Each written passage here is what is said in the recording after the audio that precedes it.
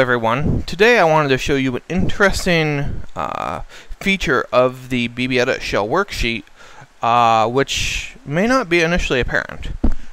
Normal Unix has something called a here document where if you have a large amount of input to give to a shell script, you can do it right in line. Let's see here.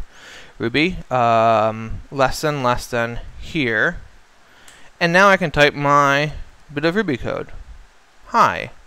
And I end it with the same word I started with. So in this case, here. Now, what will happen is that the entire contents of this document, uh, right now, just puts hi, is sent to Ruby, just how it is. Uh, let's try that again with a larger document.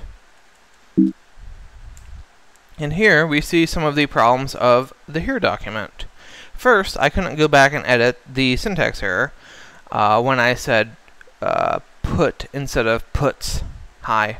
Puts is the um, Ruby version of print, and put is a syntax error uh, puts. Uh, now we can have a Ruby script that runs. And I could go on putting more stuff here and going on and on and on here. And I still get a syntax error because I couldn't go back and edit out that first line. Arg, I'm so frustrated. Usually, what you would do in normal Unix is somehow use VI or whatever and create a temporary file and pipe it to Ruby. But why? The BBEdit shell worksheet gives us an interesting alternative. Say in this case I want to create a bunch of temporary files in a folder.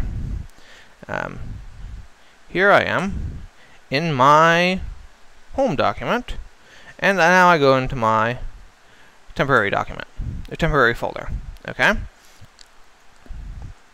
And let's start with some, Ruby code. Uh, just as on the command line, I've added a here document, and I have written a bunch of Ruby.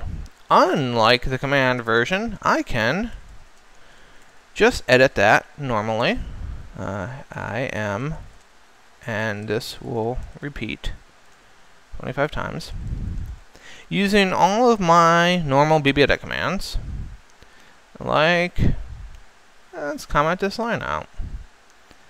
Uncomment selection. There we go. I actually need that variable. But I can comment this one out because why not? I'm just in BBEdit. I have a full the full capabilities of my text editor right here. In previously on terminal, um, trying to enter even just this trivial mm, 20 line or 10 line script would have been a nightmare because every time I mistyped put instead of puts, I could not go back and correct it. But here I can because I have not actually executed this uh, bit of document yet. This, this here document yet. I can compose the entire here document and look at it in one line. I can go back to previous lines and edit everything I want. And then I can send the entire thing to Ruby by selecting it all and hitting the enter key. And I should now have a bunch of temporary files in my Peterson project directory. So next time you have a problem on the command line and you say, hey, I should write a script in Ruby or Python and I could do this in, in 10 lines of code. Um, instead of dealing with the here document editor in your favorite shell, um, this is the here doc editor in ZSH that I showed you earlier. Um, Bash or SH might be different you could go to the BBEdit worksheet and have the entire capabilities of BBEdit right at your command. Uh, so I hope this has uh, will help and relieve some frustration in your work. Have a good day.